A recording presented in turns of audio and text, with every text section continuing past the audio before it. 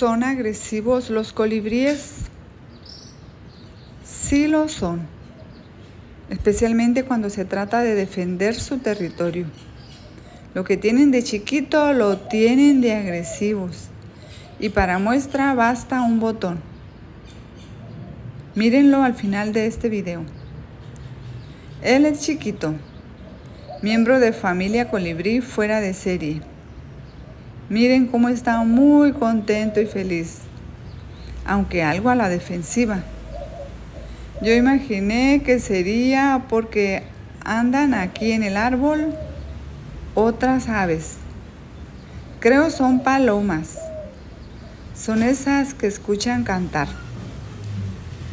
Pero resulta que Chiquito ya se enteró de que por aquí también anda papá colibrí canelo quien ha intentado en varias ocasiones echarlo de este que considera su territorio.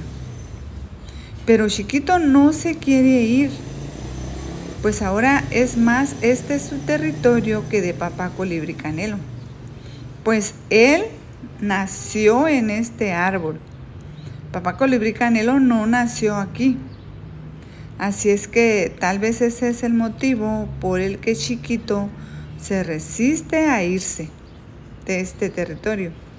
Y al final, el que se tiene que ir es papá colibrí canelo. Miren al final del video cómo de manera muy agresiva papá colibrí canelo quiere echar de aquí a su propio hijo. De veras que los colibríes son demasiado agresivos y demasiado territoriales. Si les ha gustado este videito, por favor, regálenos un like, haga algún comentario y suscríbase a este canal.